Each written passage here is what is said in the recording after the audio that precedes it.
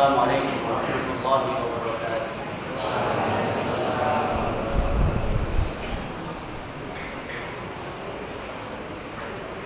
إن الحمد لله نحمده ونستعينه ونستغفره. ونعوذ بالله من شرور أنفسنا ومن سيئات أعمالنا.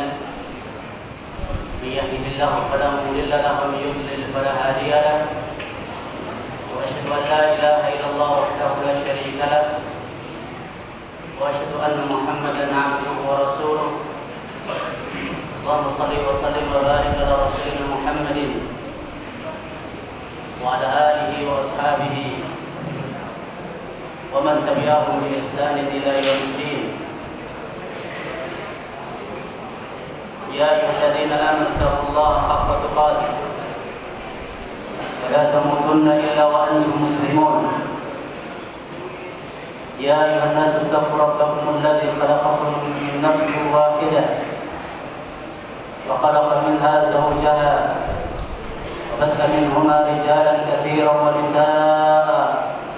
واتقوا الله الذي تساءلون به والأرحام. إن الله كان عليكم رقيبا. يا أيها الذين آمنوا اتقوا الله وقولوا قولا سديدا.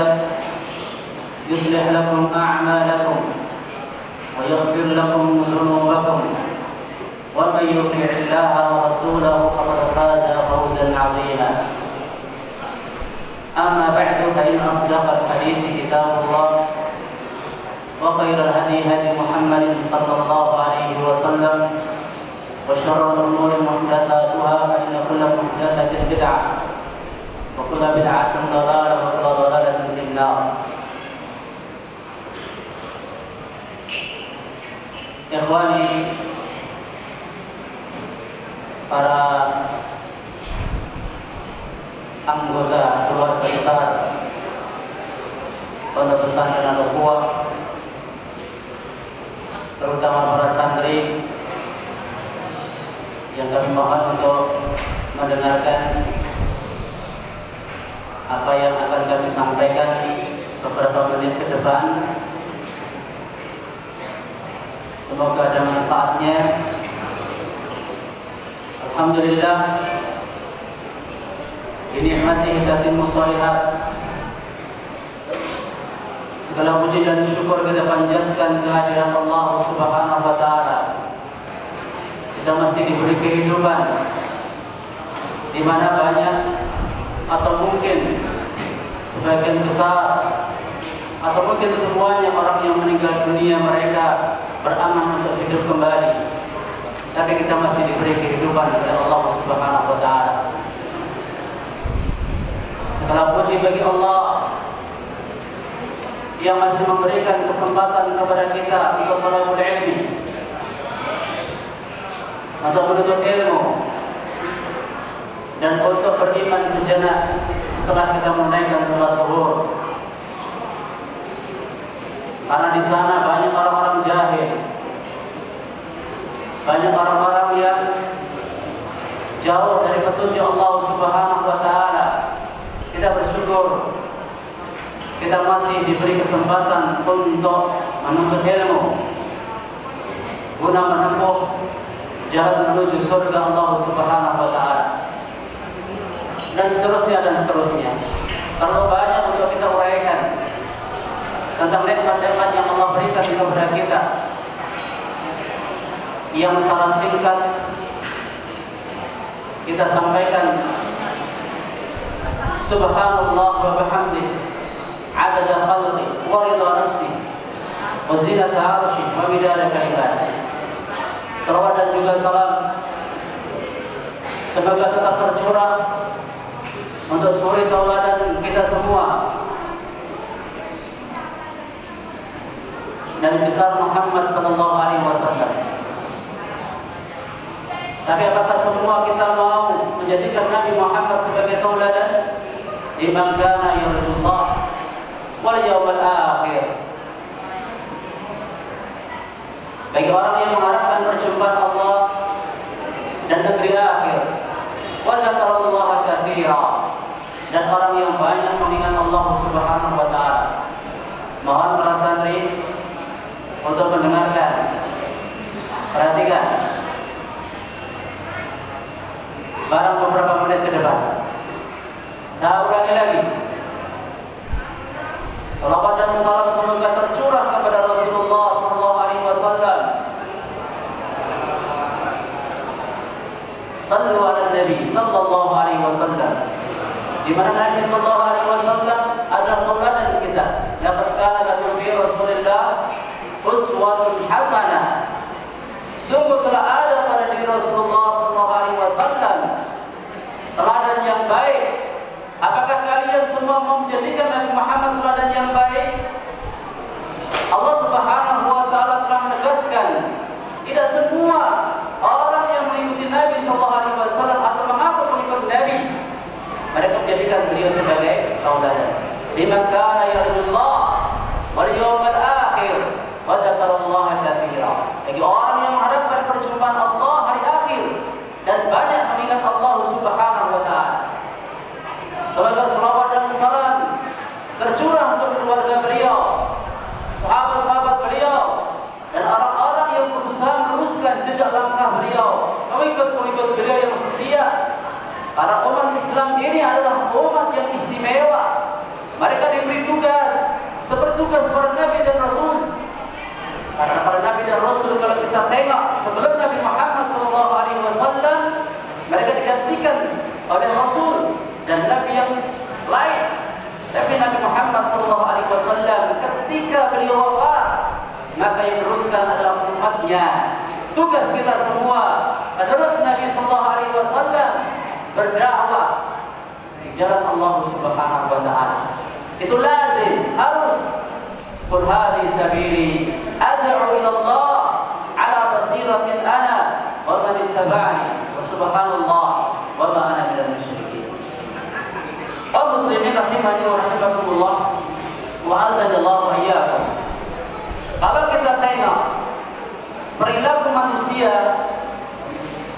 di dunia ini ternyata ada kaitan erat dengan apa yang ada di dalam hatinya.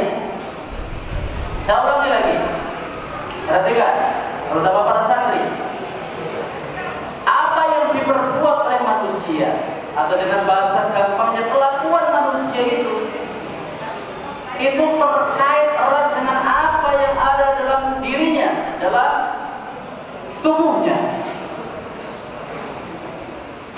Nabi sallallahu alaihi wasallam sampaikan, "Ala wa inna fil jasadi mudghah. Idza salahat salaha al jasadu kullu wa idza fasadat fasada al jasadu kullu. Ala wa al qalb." Ketahuilah pada jasad manusia itu dapat sekerat daging. Jikalau sekerat daging itu baik, maka baiklah seluruh amal perbuatannya. Jikalau sekerat daging itu buruk, jelek, maka jelek, buruklah amal perbuatannya. Antum tengok orang yang sombong dalam kelakuannya, maka dalam hatinya memang ada penyakit kesombongan. Orang yang berdusta dalam ucapannya, memang dalam dirinya ada kemunafikan. Orang yang berbuat kekufuran, orang yang berbuat kesyirikan, orang yang berbuat kebid'ahan, orang yang memiliki akhlak-akhlak tercela, orang-orang yang lalai dari perintah-perintah Allah atau terjerumus larangan-larangan Allah Subhanahu wa taala yang terlihat dalam dohirnya itu sebenarnya manifestasi, refleksi, penggambaran apa yang ada dalam jiwanya, apa yang ada dalam batin dan hatinya. Antum tengok orang-orang yang kuat imannya kepada Allah, kuat imannya kepada para malaikat, kepada kita, para rasul, hari akhir dan takdir Allah Subhanahu wa taala dalam beramal, dalam berbuat akan sangat jauh sekali perbedaannya dengan orang-orang yang kufur kepada Allah. Orang-orang yang lemah imannya kepada Allah dan juga yang akhir dan rukun-rukun iman yang lain. Aku tengok orang-orang yang suka berbuat syirik, suka berbuat kekufuran, suka berbuat kemaksiatan,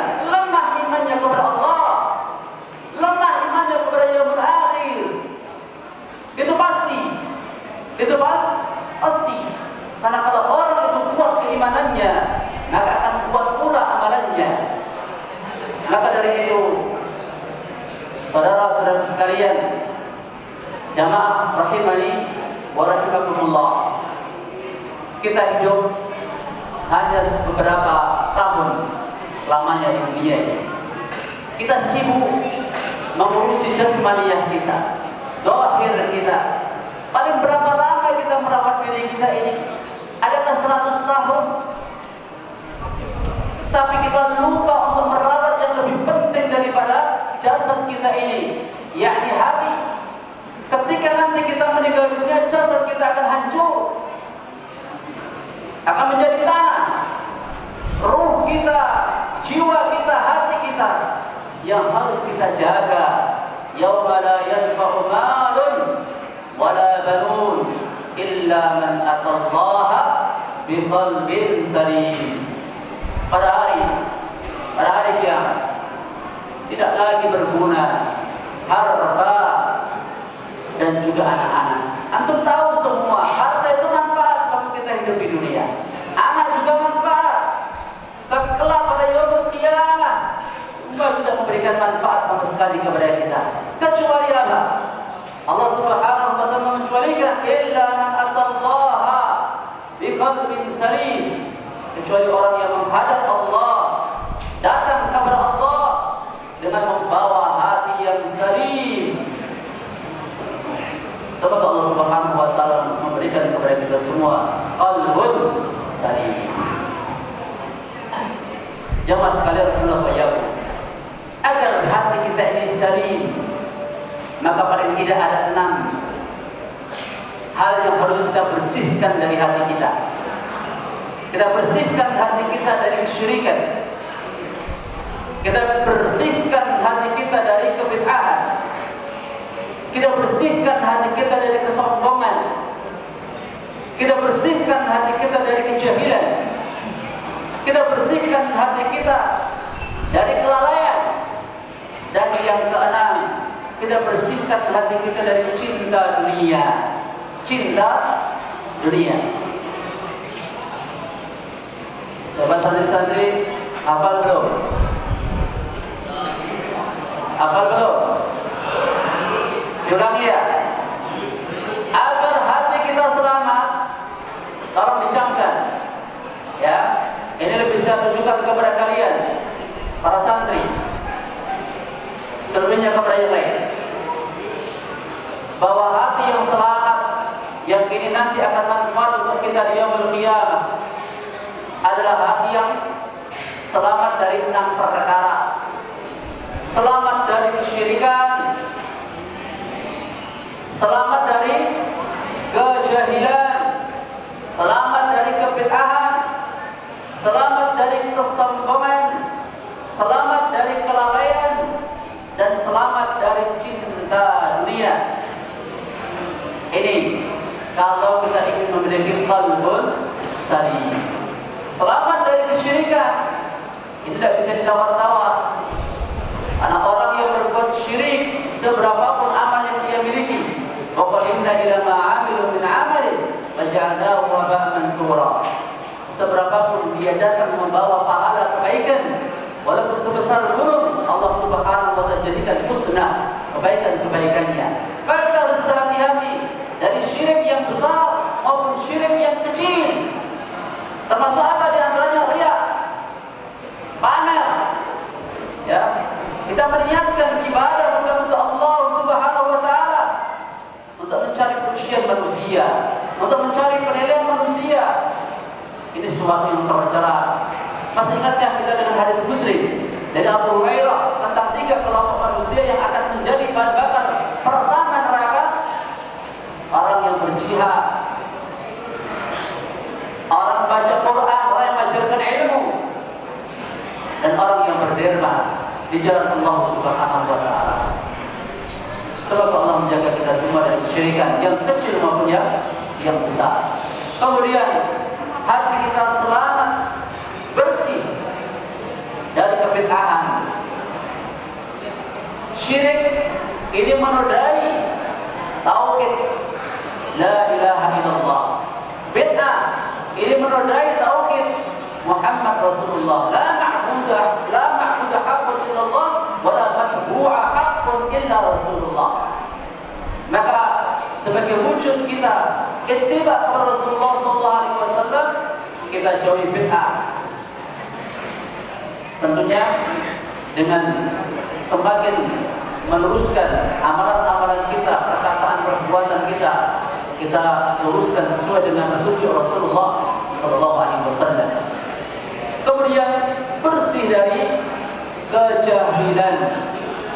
Oleh karena itu para santri sekalian, kalian belajar di sini, kalian niatkan sebagaimana Imam Ahmad rahimahullah taala menjelaskan niat yang benar dalam bentuk apa? Raful jahl an nafsi wa an ghairi. Niatkan kalian ketika belajar mengobati kejahilan kalian sendiri dan juga kejahilan orang lain. Itu niat yang benar dalam kalian menuntut ilmu. Kemudian mengobati kelalaian. Apa bedanya lalai dengan lupa? Kalau lalai itu sengaja, tapi kalau lupa itu tidak sengaja. Misalnya ada seorang yang dia tidak sholat berjamaah, dia sengaja tidak sholat berjamaah dan terus menerus tidak melaksanakan sholat berjamaah atau dia melakukan amalan-amalan, dia meninggalkan amalan-amalan secara sengaja, itu namanya lalai. Itu namanya lalai. Beda dengan lupa. Kalau lupa itu tidak disengaja. Kemudian yang berikutnya qalbun salim bersih dari kesombongan. Sombong ini memang penyakit yang kita sadar atau tidak sadar barangkali menimpa kita.